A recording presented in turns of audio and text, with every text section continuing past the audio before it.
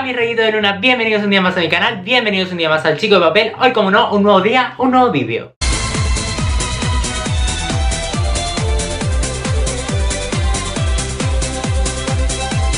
Y en este vídeo tan espectacular y maravilloso y tan esperado y especial, siempre son especiales, pero este más que nunca, les vengo a hablar sobre un tema que he dicho que iba a hablar y no he hablado y dos meses después vengo a hacer el vídeo y es la boda de mi prima Miriam. Vengo a explicarles cómo fue todo, una cosa que no les había contado y que pasó eh, y que me fue muy top em, y vengo a contarles todo el procedimiento. Y quiero recordarles que hace prácticamente un año y unos meses eh, yo hacía un vídeo también en este canal en otra boda muy eh, particular y que todos recordaréis si me siguen de hace tiempo.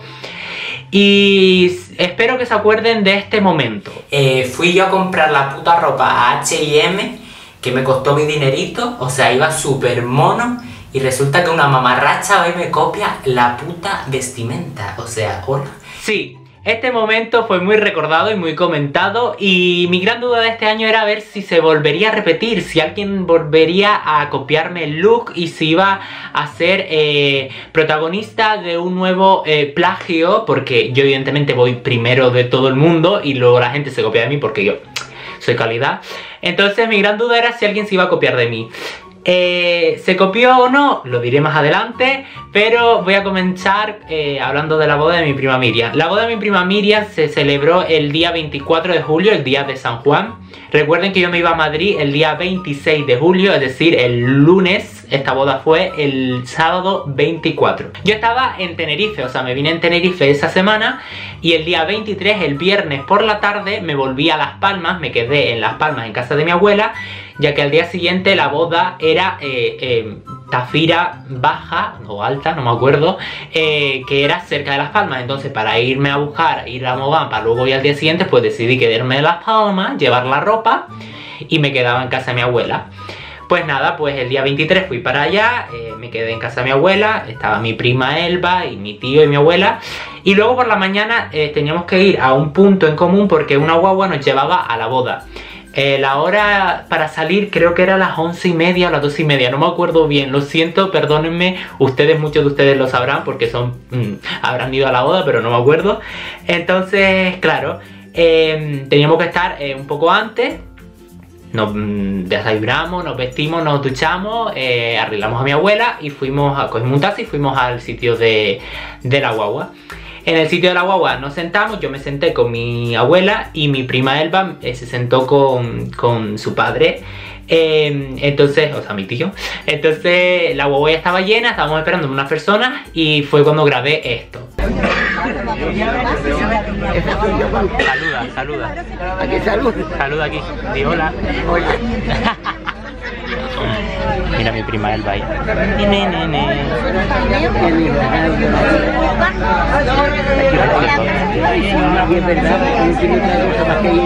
Ay, que no se enfoca.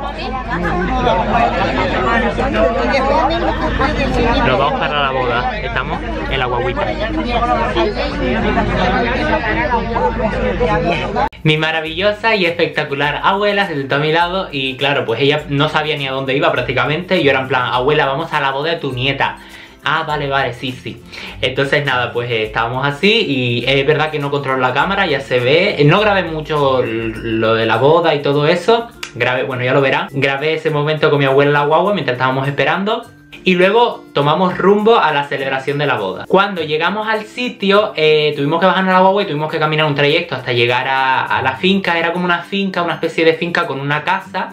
Eh, y luego era en plan todo, todo cubierto esa parte. Luego había muchos árboles, una parte de césped, em, las mesas estaban colocadas, distribuidas de, diferentes formas. Entonces está, está muy muy bien el sitio, la verdad. Y cuando llegamos, pues nos bajamos de la guagua y tuvimos que caminar con mi abuela, que es verdad que no puede caminar mucho, pero estuvimos con ella poquito a poquito. Ella estaba sedienta, la pobre, pidiendo agua. Eh, y fue cuando grabé este vídeo.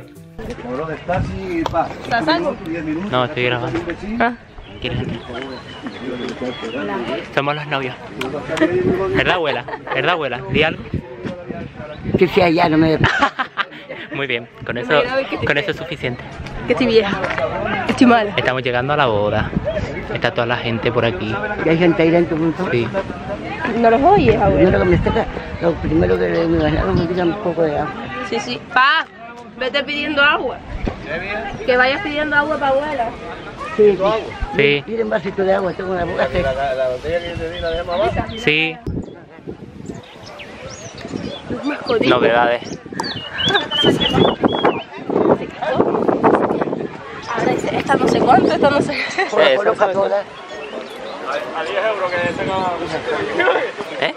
Y yo casi Pues como ven, esa es la entrada, el pasillo de entrada para llegar al sitio. Eh, estaba con mi abuela, con mi prima Elba, con mi tío Bernardo, está un poco más adelante. Y nosotros llegamos... No, había ya gente, pero llegamos un poco antes. Bueno, llegamos con toda la guagua, pero llegamos un poco antes. de los novios y eso, evidentemente. estamos. Pero nada, estuvimos como esperando como media hora. Luego llegó mis padres, mi hermano, eh, llegó más, más familiares y todo eso. Y estuvimos esperando como media hora, 40 minutos. Y eh, yo tuve que buscar a mi tía Juani, que estaba eh, en la zona de, las bebidas y eso, tenía que buscarla para pedirle una cosa. Eh, nadie sabía prácticamente nada de lo que iba a hacer. Lo sabía la novia, la madre, bueno, lo sabía casi todo el mundo, ¿verdad? La novia, la madre la novia, el padre, el novio, mi madre, mi hermano, mi padre, lo sabía todo el mundo. ¿Qué fue lo que me tocó hacer? Y es lo que yo oculté durante mucho tiempo. Bueno, se lo dije a mis amigas y eso, pero no lo dije en redes sociales porque mi prima me dijo que no lo dijera.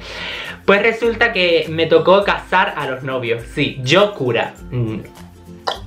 Claro, se ven que dice, el pobre este no se come ni un, rosco, eh, va pa' santo, pues pa' cura y que oficie la boda. Pues evidentemente yo, mm, eh, adelante.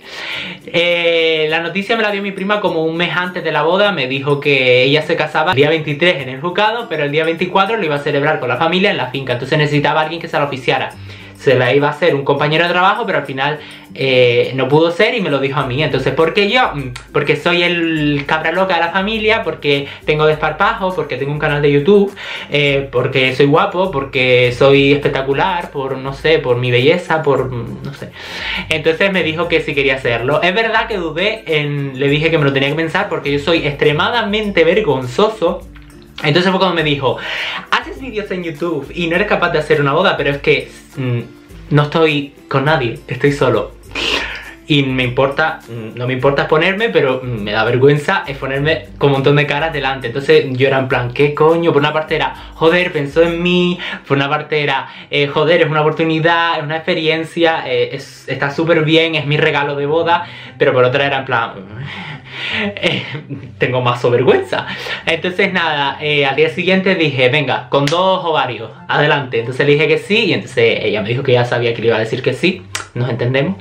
Y, y nada, entonces me tocaba a mí oficiar la boda. Recuerdo que mm, no me avisó nadie, entonces de repente veo que el novio ya estaba en el altar y yo en plan... ¡Esperen! ¡Que sin mí no se casan! Entonces, claro, tuve que ir corriendo. Me puse eh, en el altar, por así decirlo, rodeado del marco de flores. Saludé al novio y a la prima. Estaba el novio muy, muy nervioso. Jorge, seguramente me estarás viendo. Estabas muy nervioso. eh, lo recuerdo. Y me dijiste en plan que tenía muchas ganas de ver a Miriam. Y yo en plan, eh, perdona, pero según el ritual gitano, no puedes verlas hasta que está a tu lado. Es decir, cuando la tengas al lado te gira. Y él, en serio, en serio, en plan, que sí, hazme caso. Entonces nada, pues dice, pues haré eso. Pues digo, pues vale. Entonces estuvimos esperando un ratito. Después al rato apareció la novia en el fondo y empezó todo el mundo a aplaudir. Se fueron sentando a las sillas y mucha gente por los lados porque no cabían en las sillas. Entonces mi prima apareció en el fondo y pasó esto. Un momento, un momento. Quiero decirles algo eh, de este momento porque... mm, eh, Ven al chico este, que hay por aquí con una camiseta blanca tal. Eh, pues me quedé enchochado de él. A ver, eh, me dirán que a lo mejor no es gran cosa y tal. Eh, si me estás viendo, chico de la camisa blanca, hola, ¿qué tal? Eh, llámame, por favor, o pónmelo en los comentarios. Me quedé prendado de él, se lo estaba diciendo a mi prima, a mi madre, a todo el mundo, porque era un amor de chico, era mono, muy mono. Y luego era el típico chico que repartía la comida, que bailó el primero, que todo. Y yo era en plan, perdona, ¿te puedes casar conmigo ya? Y claro, pues no se pudo casar conmigo porque yo era el sacerdote, pero mm, la próxima es nuestra boda, ¿vale? Nada, continuamos.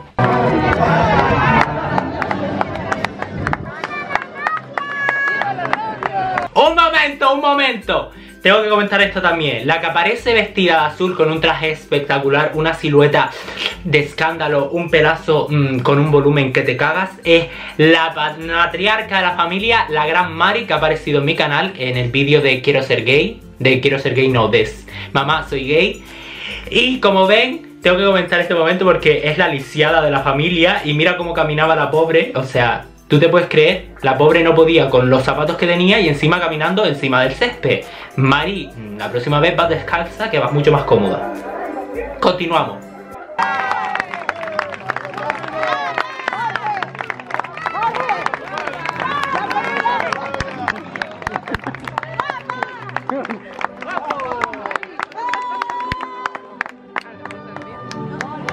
Pues la novia apareció con mi tío, con mi garaje, que es el padre. Eh, apareció espectacular, la verdad. Un vestido mm, que cuando yo me quedé mm, viéndolo fue en plan, eh, por favor, lo quiero para mí. Préstamelo, prima. Aunque no tengo tanta delantera, yo en plan, préstamelo, prima, por favor, que necesito un traje, yo necesito casarme de blanco así espectacular. Eh, cuando la vi llegar fue en plan, qué mona ella, qué linda, qué maravillosa. Y tenía el novio Jorge que me dijo, cuando aparezca me lo dices. Y entonces yo le dije, ya está ahí. Se fue acercando y cuando se fue acercando me dijo, avísame cuando esté cerca. Y le dije, ya te voy a girar. Entonces se giró y se dieron un beso, un abrazo, unos mimitos que yo me quedé en plan, ¡oh! ¡Qué belleza más linda! Ya, ya, ya, se besaron los familiares en, la, en el altar y entonces eh, pude ver a mi prima que estaba súper emocionada, tenía los ojos eh, lagrimosos y en plan, ¡ay qué ternura! Eh, cuando empecé, es de decir que yo no me emocioné, pues tampoco me podía emocionar porque estaba leyendo, pero es verdad que cuando empecé a leer y luego la vi a ella los ojos, me emocioné un poco porque fue en plan, ¡ay qué ternurita! Y, y me emocioné, pero aguanté el tipo. Tuve un problema durante toda la boda, que lo tengo que decir, porque si no reviento. Eh, bueno, dos problemas. Y fue el sonido. Eh, problema número uno, que el chico de la música estaba para allá atrás y no me escuchaba. Y entonces, claro, pues ponía la música súper alto y yo en plan... ¿Me la puedes bajar? ¿Me la puedes bajar?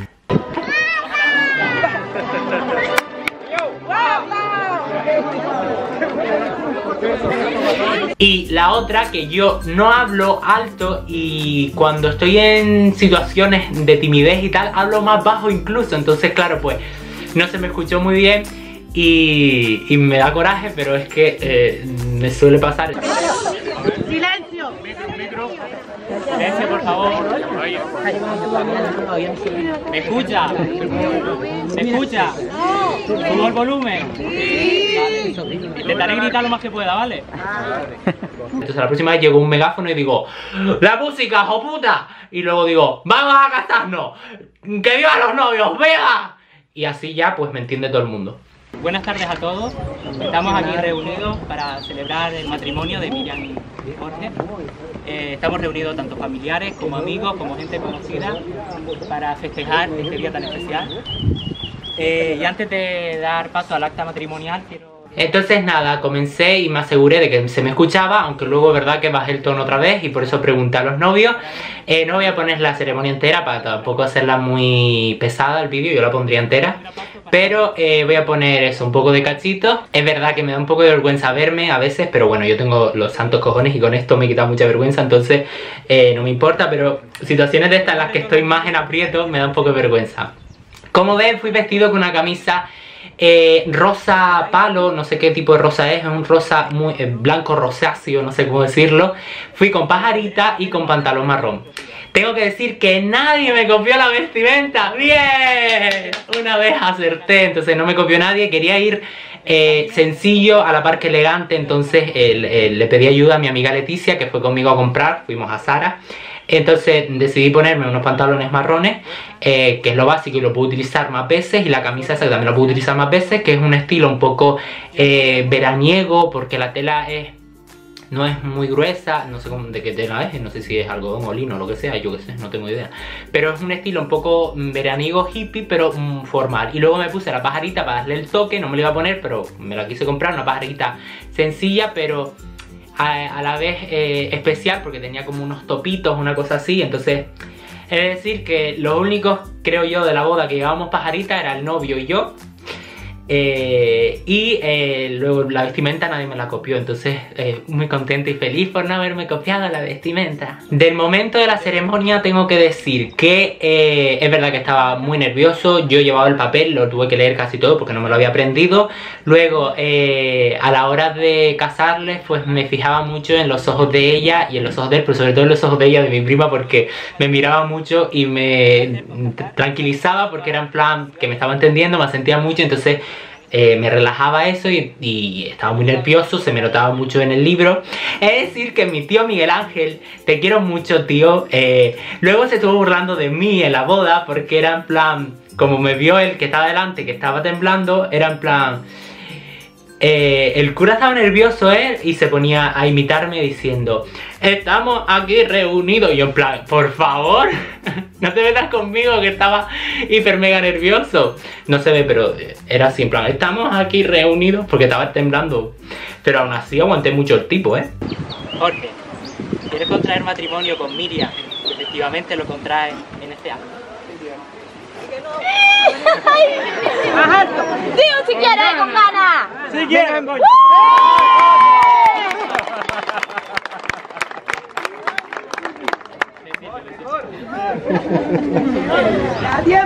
Miriam, ¿quieres contraer matrimonio con Jorge? Y efectivamente lo contraes en este acto. Sí quiero. Y nada, en el momento de la ceremonia, verdad que cuando tenía que decir si quiero no se le escuchó, por eso la familia, estábamos en un ambiente muy familiar, entonces estábamos en un ambiente eh, muy a gusto y la familia pues interactuaba, por así decirlo. Eh, cuando le tocaba decir a mi prima Miriam que si sí o si no, mi tío se ponía en plan, dile que no. Eh, y cuando a Jorge le tocó, lo dijo bajo y la familia en plan, dile más alto y todo ese rollo.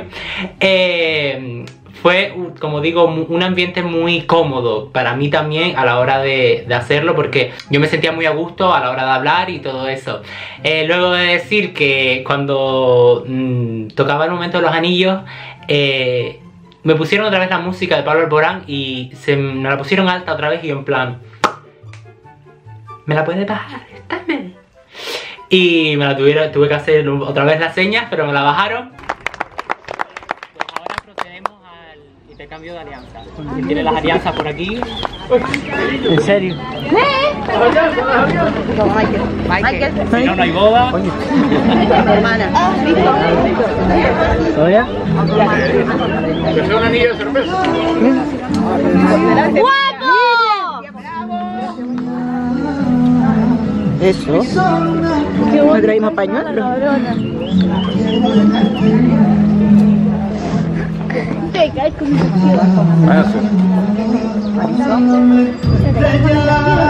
Voy.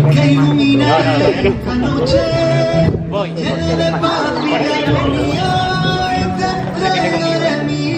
Yo, Jorge. Yo, Jorge. Te tomo a ti, Miriam, como. Y prometo serte fiel. Y cuidar de ti en la riqueza y en la pobreza. En la salud y en la enfermedad. Todos los días de mi vida.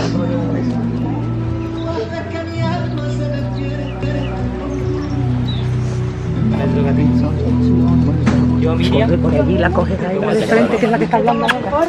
como esposo, como esposo y prometo serte fiel y cuidar de ti y prometo serte fiel y cuidar de ti en la riqueza y en la pobreza, en la riqueza y en la pobreza, en la salud y en la enfermedad, en la salud y en la enfermedad, todos los días de mi vida. todos los días de mi vida. Acta. Y después el momento, uno de los momentos que me quedo de la ceremonia fue al final cuando mi prima me puso que tenía que decir como youtuber famoso y familiar de la novia. Cuando dije como youtuber famoso me sentí yo muy, eh, evidentemente soy famoso, ustedes todos lo saben. Eh, pero me, eh, hizo gracia que la gente eh, se rió porque mucha de la gente que estaba en la boda me ve y sabe que soy youtuber, entonces se rieron.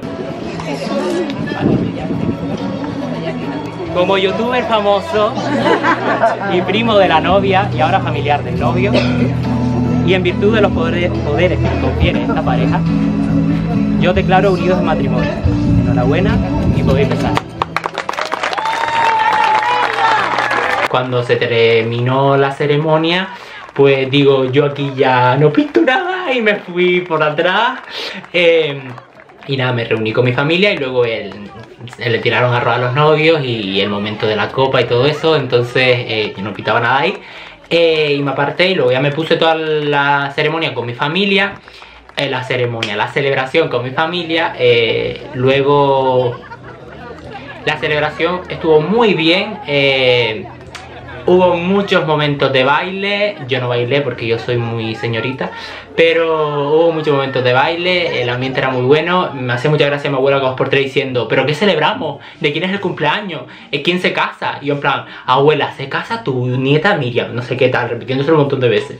Luego nos sacamos muchas fotos en familia, que se las tengo que pasar a mi prima Miriam, y la verdad que me lo pasé bien, estuve, sobre todo lo que me gusta es que nos reunimos la familia, cosa que no hacemos mucho y entonces eh, en celebraciones como esta pues nos reunimos, nos reunimos todas las familias, pasamos un buen momento, eh, luego se estuvieron bailando como locos. Eh, no voy a poner esos vídeos porque evidentemente pertenecen a su intimidad y no quiero mm, poner en evidencia a nadie, mm, ya sabe cada uno lo que hizo, pero se lo pasaron bien, que es lo importante, y estuvieron bailando los hermanos y todo. Y luego nada, pues estuvimos ahí toda la tarde y luego nos fuimos sobre las 6, no me acuerdo qué hora era, sobre las 6 y algo. eh, teníamos que ir otra vez a casa de mi abuela, dejar a mi abuela, recoger mis cosas y volver a Mogán porque recuerdo que al día siguiente tenía que hacer la maleta que no la había hecho porque me iba esa noche del día siguiente, o sea, el 25 por la noche. Entonces, claro, también tenía que volver a casa. Mi familia era en plan, quédate, quédate. Mi tía Juani, que me estará viendo, era en plan, quédate, quédate. Y yo, plan, Juani, que me tengo que ir, que me tengo que ir. Y en plan, pero quédate, por favor. Yo, en que no puedo, ya nos veremos más adelante. Pero estuvieron súper, súper cariñosos conmigo y la verdad que súper agradable el ambiente. Eh, me lo pasé muy bien, la boda fue un momento especial para ellos sobre todo. Eh, me alegro mucho haber formado parte de, de este momento. Y luego fue un momento especial para mí porque me he estrenado como sacerdote, bueno, como oficiador de bodas. Eh, y luego es verdad que alguna persona me dijo en plan, oye, ¿y estudiaste de eso? Y yo en plan, no, es un paripé. Y otra persona en plan, ay, lo hiciste muy bien. Y yo en plan, pues cuan- cuando quieras te caso, así que me llamas y tal. Así que ya saben, tengo experiencia oficiando bodas. Si quieren que les case alguno de ustedes, son fan míos, eh, o quieren celebrar la boda de oro, la boda de plata, la boda de bronce, la boda de diamante, la boda lo que quiera, me llaman o me ponen en los comentarios, eh, chico de papel, quiero tenerte en mi boda. Y yo voy. Si quieren les hago una performance, me he visto de Isabel Pantoja y les canto Marinero de Luces o lo que quieran, pero de sacerdotisa eh, sé hacer muy bien, ya lo han visto. Así que si quieren contar conmigo, ya saben lo que tienen que hacer. Me gusta tener nuevas experiencias, nuevos retos y esto ha sido uno para mí. Es una chuminada, evidentemente, pero para mí ha sido algo guay y entonces eh, me quedo con este momento y con que mi prima ya está casada y con que Jorge ya parte de mi familia. Eh, me estarán viendo seguro, así que muchos besitos. Y muchas gracias chicos por haber contado conmigo. Eh, si quieren casarse otra vez ya saben en dónde estoy. Y nada, que yo me despido, que les dejo con un conjunto de fotos que saqué en la boda. que me ha gustado mucho este momento, que me llevo este recuerdo de este año. Uno de mis recuerdos de este año va a ser este. Y que nada, si les ha gustado el vídeo, suscríbete a mi canal, eh, dale me gusta, comenta, comparte en tus redes sociales, que sígueme a mí mis redes sociales, que nadie me sigue. Y recuerden que les quiero mucho y que taca siempre por la vida, amores. ¡Y que viva los Nadia! Daddy,